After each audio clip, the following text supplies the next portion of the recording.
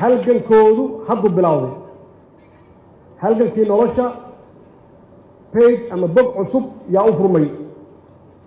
Waxaa la rabaa marka anigu waxaan rabaa inaan siiyo talooyin. Talooyinkaas waxay tahay qof walba oo dhameeyey jaamacadda waxaa laga rabaa inuu qorshe leeyahay. Waxaa laga rabaa inuu hadaf iyo gool leeyahay.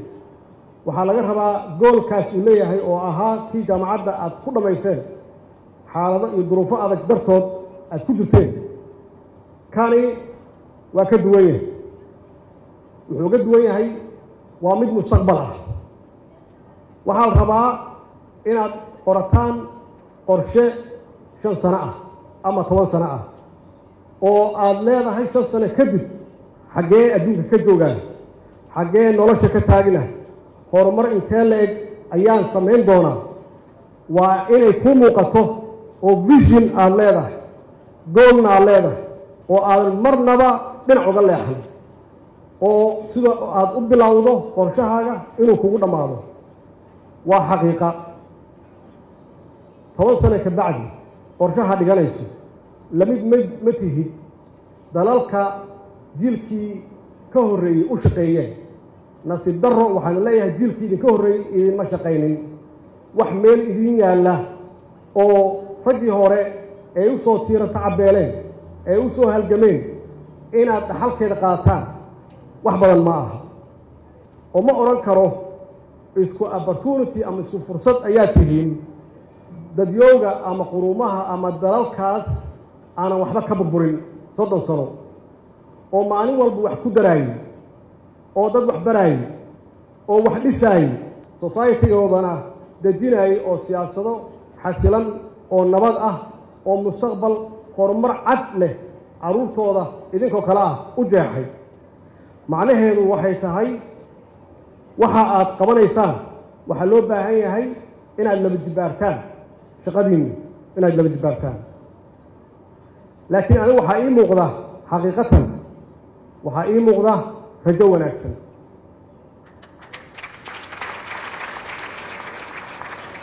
waxaa ii muuqda soomaaliya inay noqon doonto waddan horumarkeedu ka horeeyo waddamo badan.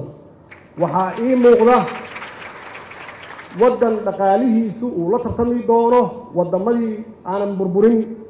Waxaa ii muuqda waddan ka faa'iidaysan doona khayraadkiisa dabiiciga ah hadday tahay beeraha xoolaha iyo kalluumaysiga iyo macdanta kale oo adduunka kale aan u suuq geyn doonno waxaa ii muuqda inaan leenahay ama lahaan doonno dowlad xasiloon oo sable ah oo dimuqraadiyad ah oo barmoodgaraysa ama horumarisa xuquuqda qof kasta oo muwaadina uu leeyahay.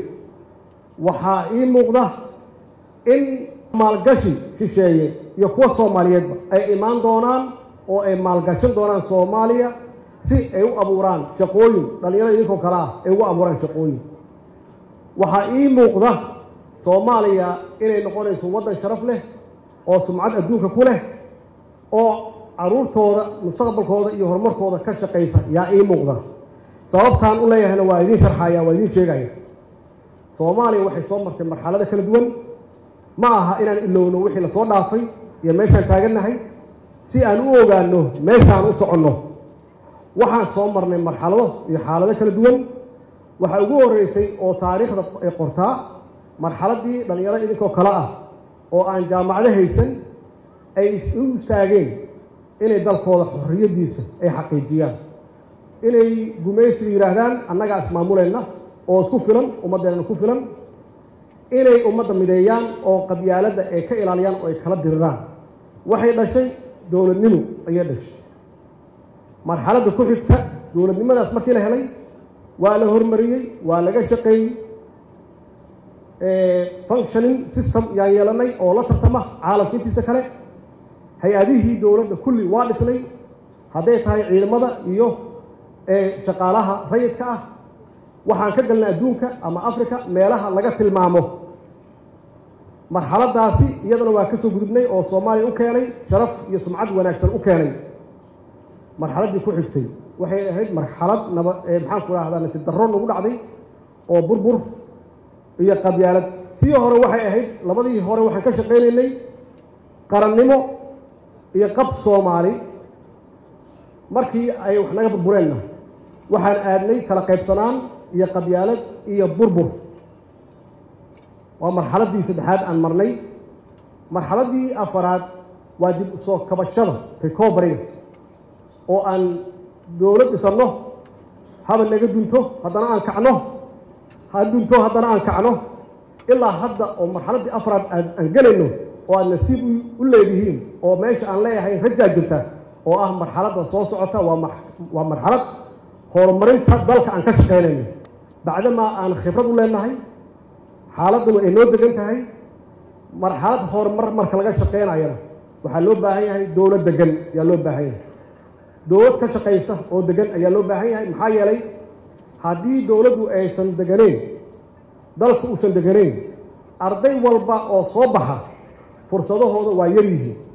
Maxaa yeelay dowladda laga rabaa inay keento siyaasad dhaqaale oo lagu maalgashado siyaasad shaqo abuurid inay keento yaa laga rabaa. Waxaa laga rabaa siyaasad kasta oo adduunka soomaaliya ay u tusayso soomaaliya inay tahay meel wanaagsan oo cid walba ay maal gashan karto inay abuurto. Macnaheedu waxay tahay dowladdaasi waa haysataan hadda ma ma isfaaninayno isma faaninayno dowlad wanaag iyo anaski government wax la yihahdo dowlad daacada weeye waxa hadda jirta. Oo aan idinkugu diyaarinayno qof walba oo soomaaliya aan u diyaarinayno mustaqbalka dowladdan iyo shacabkooda inay isla jaan qaadaan marka aan isla jaan marka meeshaas wey meeshaan ka arkaayo.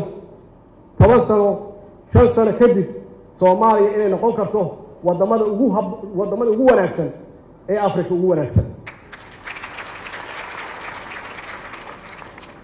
Waxaa intaas dheer dowlad wanaag keligeed iyo honest government iyo dowladda caalam keligeed waxbama tartee waxaa aasaas u ah wada shaqayn. Dowladdan waxay ku sifowday inay noqoto dowlad wada shaqaysa gudaheeda oo aanan khilaafaad lahayn sidii lagu yaqaanay dowladihii naga horreeyey. Maxaa yeeley waxbaan ka barannay. Waxbaan ka barannay oo waktaa nooga lumay. Shacabka soomaaliyeedna waktay uga lumiyeen. Markii laysqabto waxba lama qabto. Waktigaa luma horumarna iska dhaaf. Warkiisa laguma jiraba sababta waxa weeye oo aan ka wadaa maxaa yeelay dowladdooni waa dowlad runtii ka horumarinaysa maslaxadda shacabka wax walba ka horumarinaysa iyo dadka ka horumarinaysa taasaa waxay keentay marka inaan wada shaqayno marka oo waxyaabaha yararka aan laysu qabsan jirin oo shaksiga ahaa in laga gudbo. Waxaan kale oo aan ku guulaysanay oo runtii ay tahay wax aan aan dhaxal uga tegayno ama legacy uga tegayno. Waxay tahay wada shaqayn xukuumadda iyo baarlamaanka iyo baarlamaanka. Macnaheedu ma ma dhahayo wax walba waa perfect ma dhahayo adduunku oo maxaan ku rahdaa awoodda kala qaybsan adduunka ka jirta xukuumad iyo baarlamaan muran iyo dibeyt waa ka jiraan. Laakiin waa inaysan shaqada istaagin. Taasna runtii waa ku guulaysanay wada shaqaynta dowladda dhexdeeda wada shaqaynta beesha caalamka sidaas oo kale waa kuwaas oo iyaguba na ammaanayaan oo leeyihiin dowladdaani waa dowlad wanaagsan oo lala macaamili karo oo mustaqbalka iyo maslaxadda shacabka shacabkeeda u adeegaysa. Xiriirkeennana waa fiican yahay. Xiriirka gobolka geeska africa sidaas oo kale isaguna waa fiican yahay. Waa waa jiraan meelo culays si iskaga jiraan meelo culays ka jiraan waa jiraan iyadana waa ka gudbanaha insha allah. Haddaan anagu isku duubannahay waa ka gudbanaha insha allah maamul goboleedyada iyaga nafsigoodu qof walba si ha u arko waa qayb ka mid ah dibeedka socda oo dowladnimadeenna ay ku dhismayso oo aan ku fasirayno muxuu yahay federaal iyo muxuu yahay confederate. Annaga waxaan aaminsannahay inkastoo qaarkood ay nagu dacaayadeeyaan ay yidhaahdaan dowladda dhexe waa dowlad centrista ah waa dowlad awoodda rabta inay qaadato. Annagu waxaan rahnaa federaalka saxa annagaa ah maxaa yeele waxaan rabnaa dowlad dhexe oo xoog lahan rabnaa. Waxaan rabnaa dowlad dhexe oo ciidan fiican leh oo dalka difaaci karta. Waxaan rabnaa dowlad dhexe oo arrimo dabadeed oo adag leh. Waxaan rabnaa dowlad dhexe oo immigrationka iyo xuduudadeeda ilaalisa.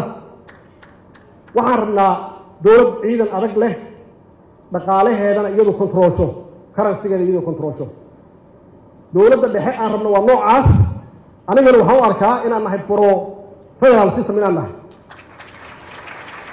Wixii ka soo horjeeda taas waa anti federalism waxaa jira wax la wada leeyahay oo aan ogolnahay in la wada lahaado iyo wax dowlad goboleedyadu ay leeyihiin oo khasbi tahay inay qabato oo ah adeegii. Laakiin dowlad dhexe inuusan muran ka gelin qof walba oo soomaaliya khaasatan dhalinyarada dowlad dhexe oo xoog leh inay jirto oo dalkaa difaacda wixii ka soo hara waxaa la yidhaha confederate aa la confederate. Annagana confederate ma doonayno ama loose federalism ma doonayno. Macnaheedu waxay tahay wada shaqayn naga dhexaysa laakiin debate yaan ku jirnaa. Idinkana waxaa la rabaa debatekaas inaad qayb ka noqotaan oo aad nasaxdaan annagu haddaan khaldannaha xitaa nasaxdaan iyagana aad saxdaan hadday khaldan yihiin. Maxaa yeele mustaqbalka soomaaliya xukuumad ma laha shaksina ma laha. Annagoo dhan ayaa wada leh waa mustaqbalkiina wey waa futurkiina wey marka inaan ka wada shaqeyno arrintaas walaalayaal mustaqbalka anigu waa ii cad yahay waa ii muuqdaa si kaleer ah iyuu igu muuqdaa mustaqbalka soomaaliya waa fiican yahay. Waa haddii dowlad kasta oo timaada dhallinyaradu iyo shacabku ay la shaqeeyaan. Haddii shacabka iyo iyo dhallinyaradu aysan la shaqeeyin dowladdaas way fashilmi. Waa in la wada shaqeeyo waa in dowladda hadda jirta iyo dowlad kastaba gacan la siiyo oo garab la siiyo oo runtii ka shaqaynaysa maslaxadda guud ee dalkan xaqiiqatan waxaan aaminsanahay waana si fiican tihiin. Waana si fiican tihiin. Boqol iyo soddonki ugu horreeyey keliya ma aha. Jaamacadaha kale oo dalka ku yaalla naftigoodu waa inaan barmood garayno waa inaan dhiirigelinno waa inaan ku adkeenno quality inay keenaan waxbarasho tayale inay keenaan oo la tartamo. Keliya iyaga dhexdooda ma aha inay la tartamaan jaamacadaha kale ee caalamka ka jira inay la tartamaan. Markaas waxaa noo soo baxaya dad mutacalimiina ayaa noo soo baxaya oo dalkan mustaqbalkiisa iyo horumarkiisa hanan kara oo lagu haleyn karo.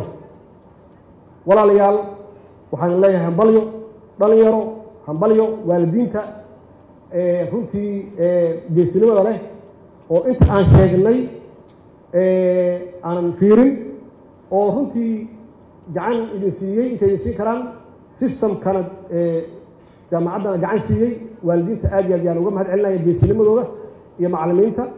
Insha allah waxaan idin rajeynayaa mustaqbal wanaagsan waxaan idin rajeynayaa horumar waxaan idin rajeynayaa inaad dalkiina u shaqaysaan ummaddiina u shaqaysaan.